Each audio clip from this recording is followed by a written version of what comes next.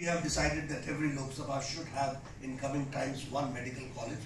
So in different locations, we will be trying to set up medical colleges and go forward in that direction, which we would like to share with you.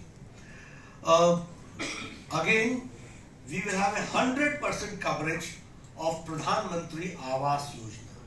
That means in Meghalaya, nobody will reside in Kacha Makan. All will have Pakka Chat and Pakka Makan with two rooms, with two rooms, along with washroom, along with kitchen, along with gas connection. All this will, and along with the courtyard. So this will be the Pradhan Mantri Awas Yojana 100% coverage that we will ensure. We will construct a task force to check the illegal mining and we will promote scientific mining that we would like to share with you.